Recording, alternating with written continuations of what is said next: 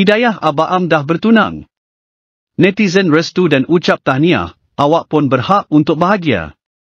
Balu kepada pelawak terkenal Syed Umar Mokhtar Syed Mohar Rezwan atau Abaam iaitu Siti Nurhidayah Mohad Ali menarik perhatian netizen apabila dia memuat naik sepotong video memperlihatkan dirinya sedang berada di sebuah majlis pertunangan.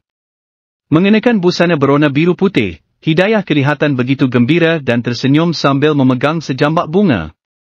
Di bahagian jari manisnya juga terdapat sebentuk cincin dan di sebelahnya pula berdiri seorang jejaka segak memakai baju berwarna sama yang hanya memperlihatkan bahagian belakang badan sahaja tanpa memdedahkan wajahnya. Meninjau di ruangan komen, ramai yang mengucapkan tahniah dan mendoakan yang terbaik buat Hidayah. Malah mereka juga menyatakan bahawa Hidayah berhak menemui bahagia selepas pemergian arwah suami tercinta pada tahun 2020. Erdahulu, Hidayah dan Abaam mendirikan rumah tangga pada 2017. Hasil perkahwinan itu, pasangan berkenaan dikurniakan seorang cahaya mata lelaki iaitu Syed Uthman Hamzah Al-Jufri yang kini berusia 5 tahun.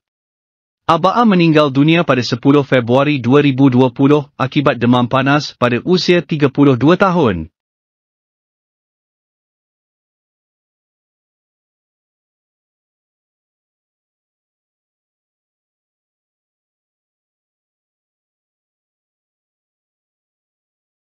Dah tonton sampai habis kan? Apa pula pendapat anda? Jangan lupa subscribe, like, komen, share dan aktifkan butang loncengnya untuk notifikasi video terbaru dari channel ni.